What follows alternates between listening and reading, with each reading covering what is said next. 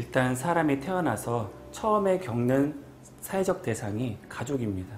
처음에는 어머니 혹은 어머니와 같은 사람, 뭐 간호사 혹은 어떤 보육원에 있는 부, 사람, 그 어머니와 같은 대상 다음엔 아버지 같은 대상, 그 다음에는 이제 전체 가족, 형제 혹은 친척 이런 식으로 넘어가게 돼 있습니다. 그러면서 자기의 마음과 몸을 유지합니다. 처음에 응애하고 태어나서는 자기에게 신체적으로 성장하게 되는 우유 혹은 모유를 철저하게 의지합니다. 그렇게 의지하니까 어떤 게 생기냐면 기대라는 게 생깁니다. 나에게 도움을 줄 거야. 근데 현대 사회는 점점점 사람을 바쁘게 하고 간섭을 합니다.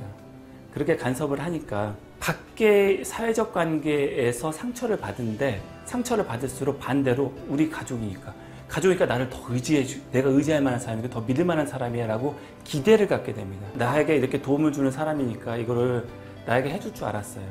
의지했어요. 근데 그게 기대를 뛰어넘는 현실은 없습니다. 아무리 재밌는 영화, 평점 좋은 영화도 처음에 아, 너무 재밌을 것 같아 하고 갑니다. 그러면 솔직히 재미는 있어도 그 기대했던 것만큼 아닙니다. 사실 가족도 마찬가지입니다. 기대를 가지니까 기대를 하지 말라는 게 아니라 과도한 기대를 갖게 하니까 또 과도하게 상처를 받을 기회가 훨씬 더 많아지는 겁니다. 일단 자기라는 게 형성될 때 자기가 아, 저 어떤 사람이 되어야 되겠다라고 하는 역할 모델이라는 게 있습니다. 근데 그 사람 중에 가장 지대한 영향을 주는 사람이 위인전은 나중에 있는 거고요. 일단 자기 부모입니다. 자기 부모가 어떤 감정이 다채롭지 않고 좀 부정적인 감정인데 화를 낸다. 그러면 자기도 자기도 모르게 좀 부정적인 감정을 느낀다. 수치심이든 뭐든 짜증이든 뭐든 하면 그냥 화부터 내는 겁니다. 부모에게서 받았던 영향을 그대로 자기가 답습하는 경우가 많이 있습니다. 그래서 자기가 성장을 하려면 성장하려면 저기 출발점이라는 게 있는데 그 출발점이 어쩔 수 없이 부모입니다. 폭력적인 사람에게서 큰 사람은 폭력적이 되기 쉬운 게 뭐냐면요. 폭력에 대해서 굉장한 전문가가 됩니다. 마치 마치 음악을 듣는 사람이 음악에 대해서 전문가가 있어 남들은 아 다 똑같은 음악이 하는데 세세하게 구별하는 것처럼 폭력에 대해서 전문가가 되니까 이 정도만 해도 자기는 덜 폭력적이라고 생각합니다. 남들이 보면 똑같이 주먹 휘두르는 건데 여기에 대해서 나 주먹 안 휘두르니까 난 나만 해도 굉장히 평화적이야라고 생각하게 됩니다. 전문가니까. 상대적으로 또 어떤 여성분은 자기 아버지가 그랬던 사람이니까 자기 애인이 그 정도만 아니어도 굉장히 좋은 사람으로 보이게 됩니다. 그래서 자기 아버지랑 거의 비슷한 사람인데도 선택하게 되는 거고요. 사실 그것에 대해서는 어떻게 하냐면 그거를 인지적으로 같은 사람인 거. 이게 본인이 느끼게 되는데 객관적으로는 비슷한 사람이라는 것을 아프지만 느끼게 해줍니다. 그러면 사실은 긍정이라는 게 뭔지 한번 생각해 보셔야 됩니다. 없는 건 없다라고 얘기하고요.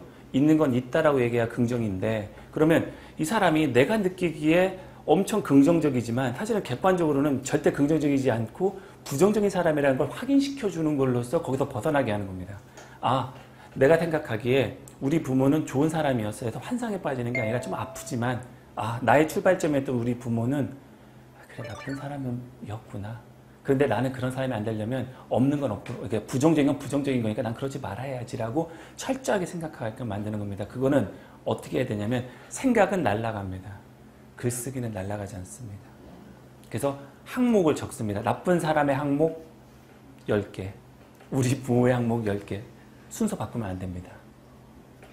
우리 부모 10개 한 다음에 나쁜 사람의 어 잠깐만 우리 부모도 그래 이렇게 하면 안 되고요. 이렇게 바꿔갖고 보편적 자기가 생각하기에도 객관적인 거. 남에게 자기 이익을 위해서는 남을 충분히 해칠 수도 있다. 뭐 이런 거 있잖아요. 쭉쭉쭉 적습니다. 그런 다음에 우리 부모 딱 하면 아 이웃이 힘들 때 도와주지 않았다. 뭐 이런 거.